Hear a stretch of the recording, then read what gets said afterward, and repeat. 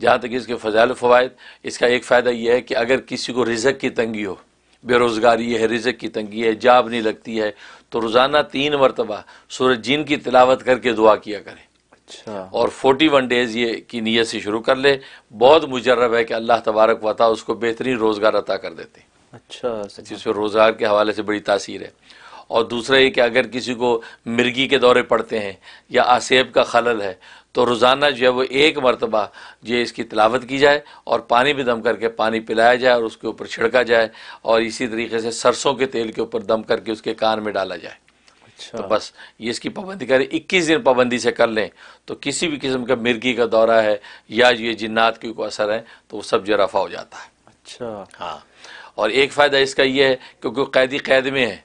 अच्छा। वो कसरत से अगर इसकी तिलावत शुरू कर दे तो बहुत जल्दी जो है ऐसे अहवाल पैदा हो जाते हैं कि अल्लाह तबारक वता उसको आज़ाद कर देंगे अच्छा हाँ कैदी के लिए कैदी के लिए बड़े बहुत ज़बरदस्त है रोज़ाना। और कैदी जो कैद खाने में और काम ही क्या है? हाँ। वही इसकी तिलावत करता रहे। करता तो। इंशाल्लाह गैब से अल्लाह तबारक व ताला ऐसे असबाब बना देंगे कि वो कैदी बाइज़त बरी हो जाएगा। ये इसके अंदर तासीर मौजूद है।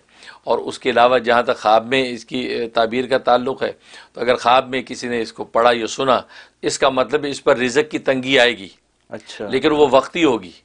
कुछ अरसे के बाद फिर अल्लाह तबारक व ताला उसको कुशादगी अता फरमा देंगे। अच्छा। इसलिए उस रिजक की तंगी से भी बचने के लिए ये फ़ौरन कुछ ना कुछ सदका निकाल दे अगर ये सूरज जिन जो है ख्वाब में देखे। तो उससे होगा कि रिजक की तंगी का जो जो मरला है अल्लाह तबारक व ताला उसको रफ़ा कर सकते हैं। अच्छा सुभान अल्लाह और एक जो ताबीर इसकी है कि इसको जो जिन्नात के ऊपर काबू मिलेगा। जिन्नात इसके ताबे होंगे। अच्छा। हाँ अगर ये किसी अमल के ज़रिए से हो या वैसे ही अल्लाह तबारक व ताली जिन्नात को इसके ताबे कर देंगे अच्छा। तो सिर्फ़ जीन का पढ़ना गोया कि ये इसके लिए एक बशारत है।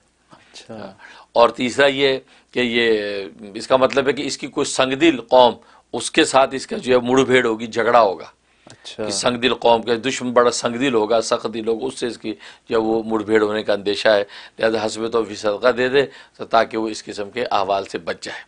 और एक ताबीर यह है कि अल्लाह तबारक व ताली इसको फ़हम दकीक अता करेंगे बड़ा बारीक बीन बनाएँगे उसको बड़ा बारीक और गहरा फ़हम अता करेंगे किसी बातों की गहराई तक पहुँचना जो है इसको नसीब होगा। क्योंकि ये बशारत है अगर उसने सूरज जी उनको ख्वाब में देखा। अच्छा तो ये फिर मुहब्बर ही बताएगा कि इसके लिए कौन सी चीज़ ज़्यादा इसके जी मुआबिक है वो मुहबिर उसके अहवाल देख के जो ख्वाब देखने वाले के उसके मुताबिक वो एक तयन कर देता है।